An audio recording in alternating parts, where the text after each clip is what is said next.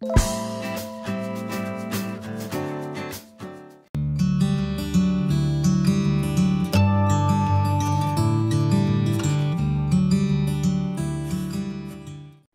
guys, this is Shruti. Welcome back to my channel Wardrobe and Fitness.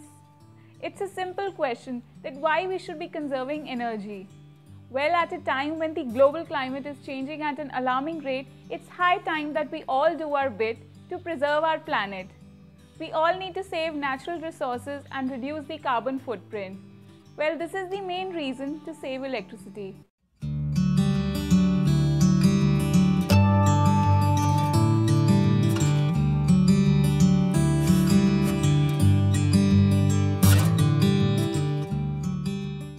If you tend to keep the curtains closed during the daytime, then it's time to change this habit.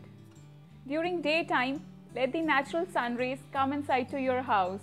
Well, this can lead to big electricity savings. Well, if you need a strong focused light to complete a particular task, then it's fine to switch on the bulbs or tube lights in your house. But otherwise, try to use natural light as much as possible.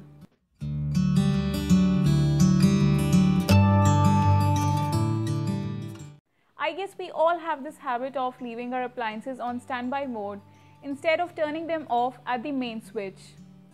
In an average home, a lot of electricity is wasted due to appliances left on standby mode. If you use desktop computer, then one way to ensure that the electricity usage is to a minimum level is to set up the sleep mode in your computer. Now talking about cell phones, what we can do is that we can set up a time delay of 1 minute of inactivity. This can also lead to huge electricity savings. Also, one more thing that we can do is that we can switch off our cell phones during night time. This will not only save electricity but will also ensure sound sleep and will reduce the effect of radiations during night time. So multiple benefits you see. But unless you're expecting some call or there's an emergency, so then obviously you can switch on your phone. There's no hard and fast rule. But yes, we can try to at least save our phone's battery for at least 6 to 8 hours, which is possible during night time. Same is the case with television. Do not leave your television on standby mode. And if you keep forgetting, then consider purchasing a power saver.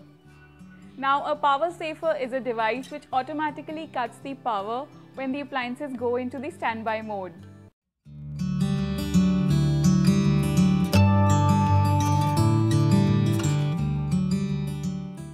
At night, you don't require the same cooling level, so try running your AC down. Especially in summer times, we all have this habit of keeping our AC at a very lower temperature, say for example at 18 degree, 19 or 20 degree. But especially in the night time, what we can do is we can increase the temperature of AC say up to 24 degree. This 1 or 2 degree difference will also lead to huge electricity savings.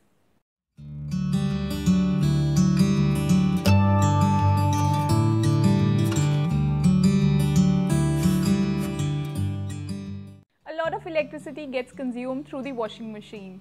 So how can we save electricity? Well, what we can do is we can avoid using the clothes dryer. In India, we have ample of sunlight, so why not make use of that? We can dry clothes on a laundry line. This can lead to big electricity savings. These small, small steps can make a huge difference. So why not make a few changes in our lifestyle and save our mother nature? So this was for today guys. I really hope you liked the today's video. If you've liked this video, make sure to hit on that like button, comment and share this video with your friends.